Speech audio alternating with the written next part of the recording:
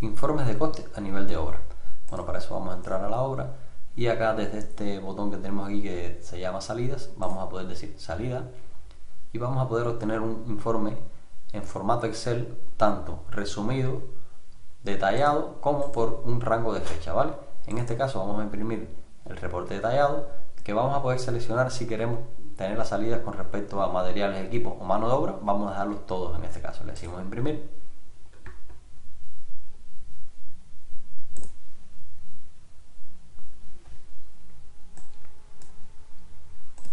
y acá vemos nuestro informe, ¿vale?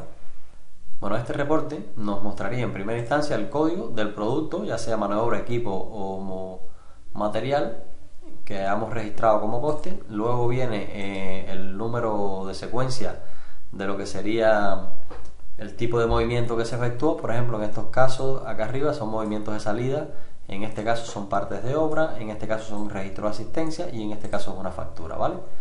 Y bueno, el saldo de apertura que no tiene tipo de movimiento, sino que solamente se refleja acá como saldo de apertura, ¿vale? Luego vendría el presupuesto al que está asociado, eh, la partida a la que está asociada, eh, luego vendría lo que sería el objeto de obra si se lo hubiera definido, eh, el espacio si se lo hubiera definido, el proveedor, alguna descripción que tenga ese producto, la fecha, ¿vale? inventario si hubiera tenido inventario, eh, inventario en la ubicación, si lo tuviera, igual, la unidad de medida.